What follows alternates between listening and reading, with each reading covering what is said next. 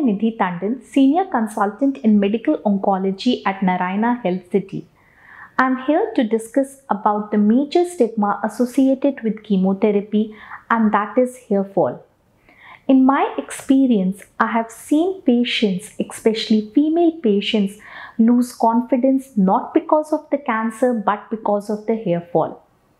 At Narayana Health City, we have the latest advancement called scalp cooling machine, which will be like a skull cap which will be attached to the skull of the patient while the chemo infusion is going on.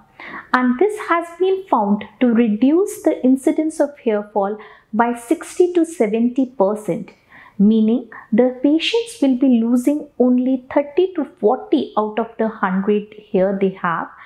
That is, it will not be apparent to the people around that the patient is undergoing chemotherapy if that is the major concern. Thank you.